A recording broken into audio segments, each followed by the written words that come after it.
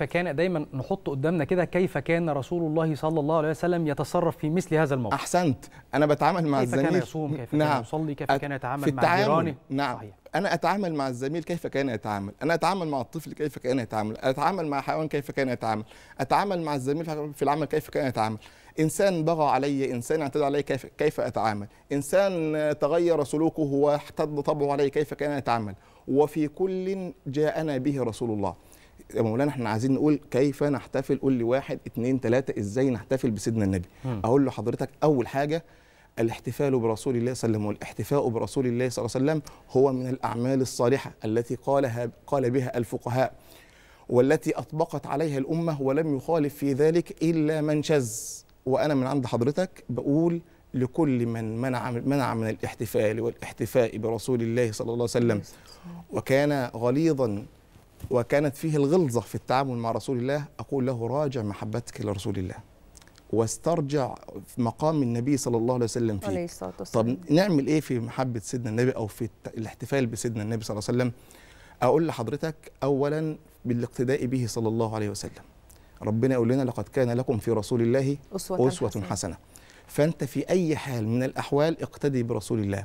في. في تعلم سيرته صلى الله عليه وآله وصحبه وسلم إحنا محتاجين النهاردة في. نستغل المناسبات ديت عشان نعرف أولادنا ونجتمع على مائدة سيدنا النبي فالولد يتع... نديله كده كورس بسيط أو شيء معلومة بسيطة يا...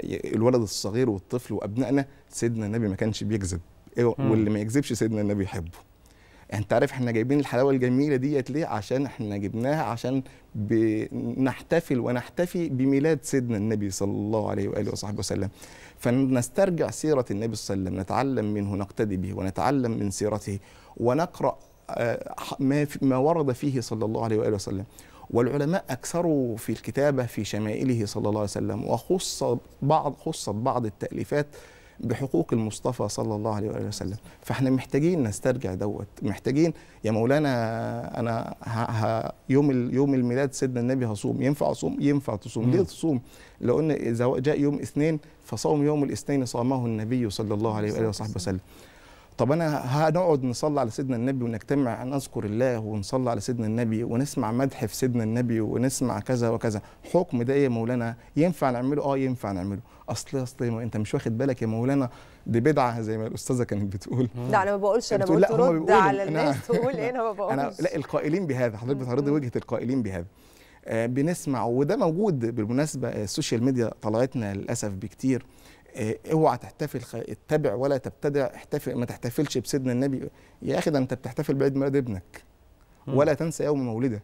لا تستطيع أن تنسى يوم زواجك. ما يحصل لك مشكلة مش. تدخل البيت. دي واخد بال حضرتك. لا تستطيع.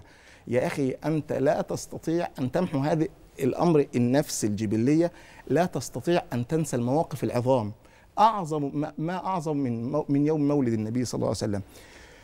هنقعد نعمل كده. أصل النبي ما عملش كده. كلام مم. أنا بعرض ال- الوجهة اللي بت... اللي بتتقال آه. والمعروضة. أصل سيدنا النبي ما عملش كده. أصل سيدنا النبي ما قعدش مش عارف إيه. أصل سيدنا النبي ما اجتمعوش يصلوا عليه في الوقت ده. نقول يا جماعة تعلموا الله يرضى عليكم.